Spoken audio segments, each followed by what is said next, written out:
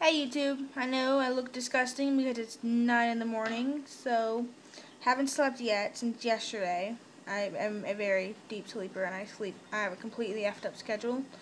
My sister just came over and I have about 6 hours to sleep before mom gets back from work and yells at me for not going to bed yet.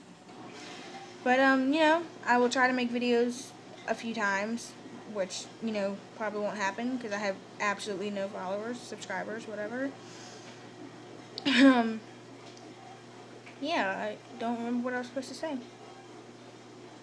Snapchat. Oh.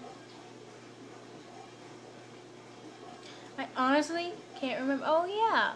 I have a very funny life, which none of you will ever realize because, like I said, zero followers. Everyone is on the crazy side of YouTube, just, you know, watching vagina weightlifters and salad fingers and Fluffy Talks and Shane Dawson TV and Johnny Boy XO, which I have seen all those except for the Regina Weightlifters.